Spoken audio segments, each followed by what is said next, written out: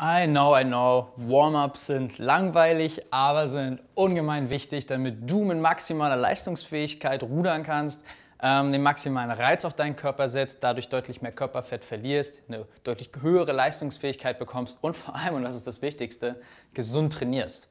Und bevor wir jetzt auf die Warm-ups, die ich dir einmal vorstellen möchte, eingehen, ähm, noch ein ganz kleiner Hinweis. Schau mal auf www.ruderathlet.de vorbei, das steht hier oben, das habe ich in den Kommentaren nochmal verlinkt. Da bekommst du eine kleine PDF kostenlos zugeschickt, äh, mit der du einfach deine Rudertechnik instant und bei jedem Training einfach ähm, verbessern kannst und schauen kannst, wo du gerade stehst. Und wenn dir das Video jetzt gefällt, dann ähm, lass mir auf jeden Fall ein Däumchen da und drück mal auf Abonnieren damit wir einfach dafür sorgen können, dass solche Videos bei YouTube besser ranken. Und das Ganze hat halt den Vorteil, dass immer mehr Leute davon erfahren, wie man richtig rudert, dass keine ungesunde Rudertechnik mehr in deutschen Fitnessstudios zu sehen ist und letzten Endes, damit wir einfach mehr Menschen mit einem athletischen Körperbau haben, denn ich glaube, Gesundheit ist das, was viele von uns heutzutage brauchen und was viele von uns auch wollen. Supi, dann kommen wir jetzt nämlich zu den drei Warm-ups, die auch ungemein wichtig sind für deine Gesundheit. Ähm, und in erster Linie ähm, gehört zu jedem Warm-up auch immer so eine kleine Stretching- und Mobility-Session dazu, dass du einfach die, die ähm, verspannte Muskulatur ein bisschen lockerst, ausdehnst. Ja, meistens hast du den ganzen Tag gesessen, jetzt sitzt du auch noch auf dem Rudergerät. Ähm, dann macht es halt Sinn, vor allem die verspannte Sitzmuskulatur zu lösen und zu lockern. Und jegliche Muskulatur, die du im späteren Verlauf des Trainings auch brauchst, ebenfalls ein bisschen ausstretchst. Ähm, das mache ich nochmal in einem separaten Video. Jetzt soll es einfach erstmal darum gehen, was kannst du für Warm-ups auf dem Ruderergometer machen, wie kannst du dich darauf fokussieren und was halt so den maximalen Effekt und Vorteil für dich, dass du auch wirklich warm bist und dein gesamter Körper ready to action ist. Und ein jedes Workout starten wir so wie auch auf dem Wasser, witzigerweise, am besten mit einem Schlagaufbau. Ja, der Schlagaufbau, dazu habe ich schon mal ein Video gemacht. Ähm, weißt ja ganz genau, das geht, ähm, oder wenn du es noch nicht gesehen hast, es geht ganz einfach. Ähm, du fängst einfach an, indem du in deiner stolzen Position in der Rücklage sitzt. Ja, das ist immer sehr, sehr wichtig. Stolze Position, ja, Kopf nach oben, guckst ein bisschen nach oben. Und dann fährst du nur aus den Armen 20 Schläge. Dann fährst du nur mit Arm und Oberkörper, ja, und wie so ein Pendel schwingst du dann einfach nur um dein Hüftgelenk hin und her. Ähm, dann gehst du auf die Viertelrollbahn für 20 Schläge, auf die halbe Rollbahn, auf die Dreiviertelrollbahn und dann nochmal auf die volle Rollbahn. Und der Vorteil dabei ist einfach, dass dieses Bewegungsmuster, ja, dass du zuerst die Arme raus, dann den Oberkörper raus und dann mit den Beinen anrollst, einfach so tief in dein Gedächtnis und in dein Bewegungsmuster einfach ähm, eingraviert wird, dass du das bei intensiven Einheiten dann später, wenn du das richtige Workout machst nach dem Warm-up, dass das einfach sitzt und aus dem FF kommt. Und ähm, so ein Schlagaufbau, ja, der dauert vielleicht maximal so fünf Minuten. Ähm, und danach habe ich jetzt einmal mal so verschiedene, verschiedene ähm, Beispiele für Warm-ups, die du machen kannst. Die haben auch so ein bisschen spezifische, ähm, spezifische Sinn, einen spezifischen Sinn dahinter. Und das erste Warm-up dauert so zehn Minuten und das ist eigentlich nichts anderes als 4 mal 2 Minuten mit 30 Sekunden Pause jeweils. Ja. Das heißt, du kannst 30 Sekunden einstellen, kannst aber auch ganz einfach, äh, kannst 10 Minuten einstellen, kannst aber auch ganz einfach losfahren.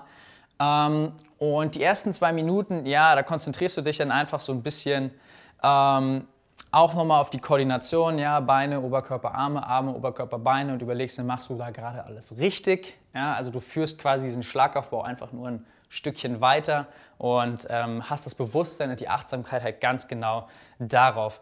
Ähm, der zweite Fokuspunkt, den wir dann so ein bisschen machen wollen, ähm, wäre, ähm, dass du dich voll und ganz auf den Beinstoß konzentrierst. Ja, das heißt, du wir wissen ja, dass Rudern eine Abdrucksportart ist, eine Beinsportart ist und die meisten Leute verlieren da so ein bisschen den Fokus und ziehen am Ende einfach nur noch mit den Armen.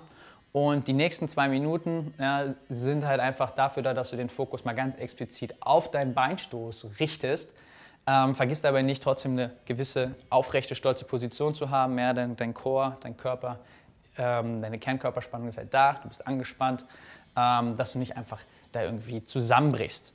Ähm, bei den nächsten achtest du wirklich nochmal ganz explizit, ja, du hast jetzt den Beinstoß drin, jetzt kann es halt passieren, dass genau das nämlich passiert, dass deine stolze Position irgendwie einbricht. Das heißt, bei den nächsten zwei Minuten achtest du einfach nochmal auf die stolze Position und zum Schluss beendest du diesen, ähm, diese 4 mal 2 Minuten, dieses Warm-up nochmal mit dem Fokuspunkt ähm, auf die Beine, Oberkörper, Arme Koordination. Ja? Das heißt, du fokussierst dich eigentlich alle zwei Minuten mal auf gewisse Teile des Ruderns, auf gewisse Technikaspekte, die wirklich wichtig sind.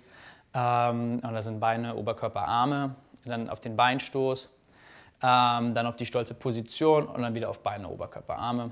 Und ähm, hast immer so 30 Sekunden Pause, die du so ein bisschen locker machst, um dich nochmal neu darauf einzustellen.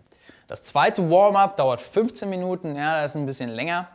Und ähm, hier machen wir, setzen wir uns wieder so mentale Meilensteine und auch hier üben wir jetzt so ein bisschen mehr noch das Rhythmusgefühl. Ja, das heißt, wir springen immer so ein bisschen mit unseren ähm, Schlagfrequenzen hoch und runter.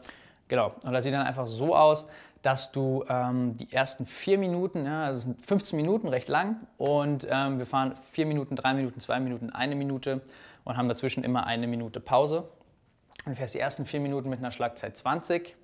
Ja, das heißt, du konzentrierst dich hier wirklich darauf, ähm, 20 Schläge die Minute zu fahren. Wenn du es hochrechnest, weißt du, könntest du 80 Schläge in der Zeit machen. Und ähm, genau, versuch da wirklich die Erholungsphase und die ähm, Durchzugsphase einfach zu optimieren.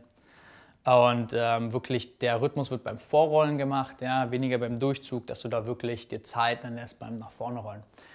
Danach hast du eine Minute Pause und die nächsten drei Minuten fährst du mit einer Schlagzeit 24. Ja, ähnliches Spielchen, da wird einfach nur der Takt ein bisschen höher geschraubt. Ähm, dann machst du wieder eine Minute Pause, dann fährst du zwei Minuten mit einer Schlagzahl 28, hast eine eine Minute Pause und dann nochmal eine Minute mit einer Schlagzahl 32 oder mehr. Ja, das ist schon nochmal recht intensiv, ähm, dass du da auch nochmal wirklich den Puls äh, hochbringst. Das eignet sich hervorragend, das äh, Warm-up für Hit-Workouts, die du dann danach machst. Ähm, und dann hast du diese eine Minute auf Schlagzeit 32 fertig und dann fährst du einfach nochmal zwei Minuten locker. Und dann das letzte Workout dauert nur 10 Minuten. Ja, das sind eigentlich 5 mal 2 Minuten, die wir aber konstant durchfahren. Und hier machen wir ein kleines Schlagfrequenzspielchen. Ja, die ersten 2 Minuten fährst du mit einer Schlagzahl ähm, 20, die zweiten 2 Minuten fährst du mit einer Schlagzahl 24, die dritten 2 Minuten fährst du mit einer Schlagzahl 28 und dann gehst du wieder runter auf 24 und die letzten 2 Minuten auf Schlagzahl 20. Ähm, versuche einfach auch immer, wenn du hier diese Pyramide fährst, so ein bisschen deine, deine, deine Leistung auch anzupassen. Ja? Das heißt, versuche einfach von Schlagzeit 20 auf Schlagzeit 24 ähm, so zwei bis vier Sekunden auf 500 Meter schneller zu sein oder einfach noch ein bisschen mehr Power an das Gerät zu bringen. Bei 24 bis ähm, 28 machst du genau das Gleiche. Und ähm, wenn du dann wieder runter gehst, wirst du, nimmst du die Leistung ein bisschen zurück.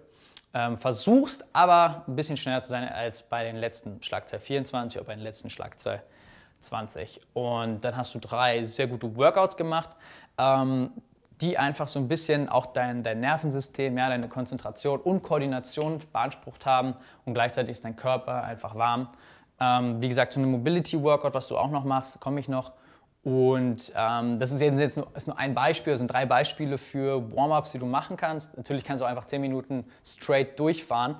Ähm, funktioniert genauso gut. Das ist nur jetzt mal so ein kleines Beispiel für dich, dass du einfach so eine gewisse Orientierung hast. Wie kann man sich fürs Rudertraining warm machen und gleichzeitig halt auch noch ein bisschen Köpfchen einschalten und nicht einfach unbewusster abrödeln ähm, weil dann hat es halt auch nichts gebracht. Ich bin der Meinung, man muss bei jedem Training immer ein bisschen wachsen, man muss sich bei jedem Training ein bisschen herausfordern und ähm, das Warm-up muss einfach auch schon so ein bisschen ähm, den Kopf mit einschalten und ich denke, das ist mit den drei Workouts, die du dann mal machen kannst oder diesen drei Warm-ups, die du dann mal machen kannst, ähm, eine sehr gut gelungene Sache. Schreib mir gerne in die Kommentare, wie du die Warm-ups fandest oder gefunden hast und gib mir ein Däumchen und drück auf Abo und dann sehen wir uns im nächsten Video. Bis dahin, dein Fabian. Ciao.